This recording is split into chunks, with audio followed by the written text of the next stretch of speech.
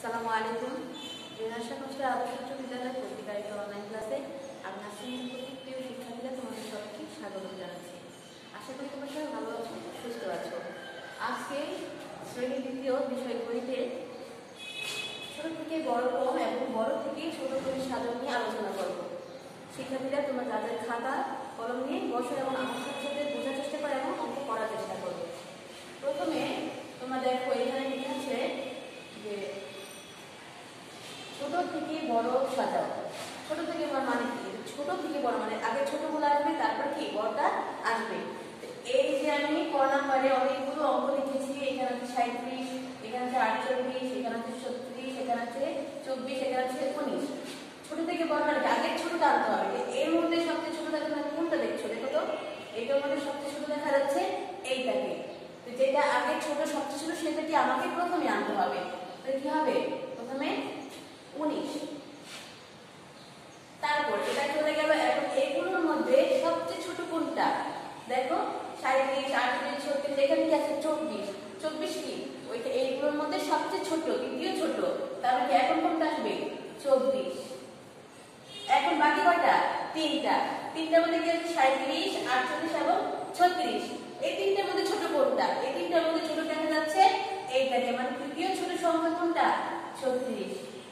এই তিনটা চলে গেল। থাকে কয়টা? দুইটা। সাঁত্রিশ এবং আটচল্লিশ। সাঁত্রিশ এবং আটচল্লিশের মধ্যে ছোট কোনটা? সাঁত্রিশ তাহলে কত লিখতে হবে? সাঁত্রিশ বাকি থাকে কি? আটচল্লিশ। দেখো, এখন দেখো, সুন্দর করে উনিশ, চব্বিশ, ছত্রিশ সাঁত্রিশ আটচল্লিশ। আমাদের সাজানো হয়ে গেছে। একইভাবে আমরা দ্বিতীয়টা কি? সেম একইভাবে সাজাবো। দ্বিতীয় নাম্বার কি আছে? বত্রিশ, উনিশ, পঞ্চাশ, আটচল্লিশ সরি পঁয়তাল্লিশ আর কি সাতাশ এখন আমাদের এগুলোর মধ্যে সবচেয়ে ছোট সংখ্যা কোনটা ওটা কি? খুঁজে বের করতে হবে। এগুলোর মধ্যে সবচেয়ে ছোট সংখ্যা কোনটা? এইটা। তা আমাদের কি প্রথমে এটা লিখতে হবে। এটা চলে গেলে থাকে কয়টা? এক, দুই, তিন, চার। এই চারটার মধ্যে সবচেয়ে ছোট সংখ্যা কোনটা? বত্রিশ, পঞ্চাশ, পঁয়তাল্লিশ নাকি সাতাশ? সাতাশ। তা আমরা সাতাশ লিখলাম।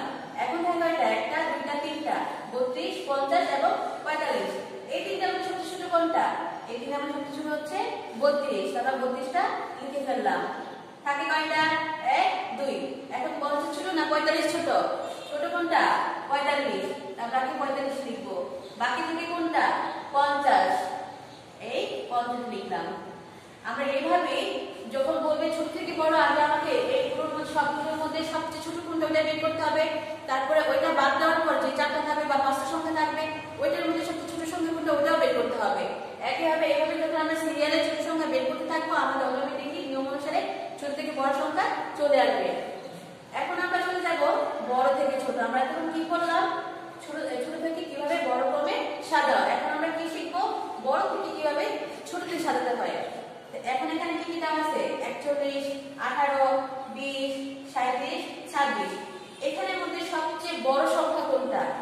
সবচেয়ে বড় সংখ্যা কোনটা? এইটা। কোনটা? এইটা। তাহলে কি লিখতে হবে প্রথমে বড় সংখ্যাটা লিখতে হবে। এখন এটা চলে গেলে থাকে কয়টা? চারটা সংখ্যা।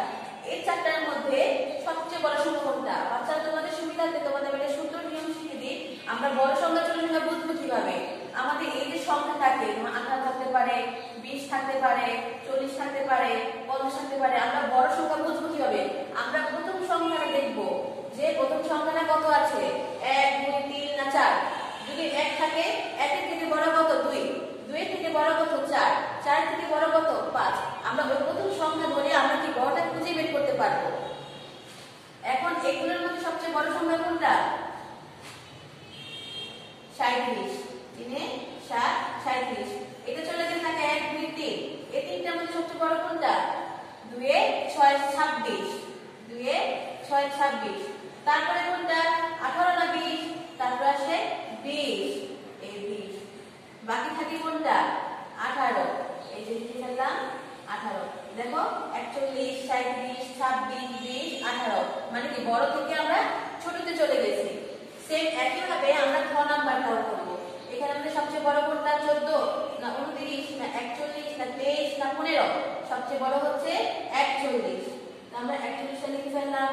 তারপরে যদি তারপরে এই চারটা মধ্যে সবচেয়ে বড় কোনটা চোদ্দ উনত্রিশ তেইশ না পনেরো উনত্রিশ আসে তাহলে আমরা লিখে ফেলাম উনত্রিশ তারপরে কোনটা একটা দুটো তিনটা থাকে চোদ্দ তেইশ আর পনেরো তাহলে চোদ্দ বড় না তেইশ বড় না পনেরো বড় বড় হচ্ছে তেইশ বাকি থাকে কোনটা চোদ্দ আর পনেরো চোদ্দ বড় না পনেরো বড় অবশ্যই পনেরো বড় তা আমরা কি পনেরো লিখব বাকি থাকে কোনটা চোদ্দ এই চোদ্দ লিখে ফেললাম তাহলে আমরা শিখে গেলাম কীভাবে ছোট থেকে বড় সাজাতে হয় এবং কীভাবে বড় থেকে ছোট সাজাতে হয়।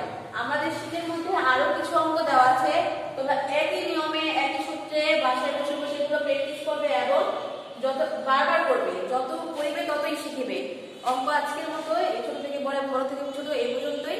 আবার অন্য ক্লাসে অন্য কোনো বিষয় নিয়ে আলোচনা করব। বাচ্চারা বাসায় বেশি বেশি পড়বে। আজকে এই পর্যন্তই। আল্লাহ হাফেজ।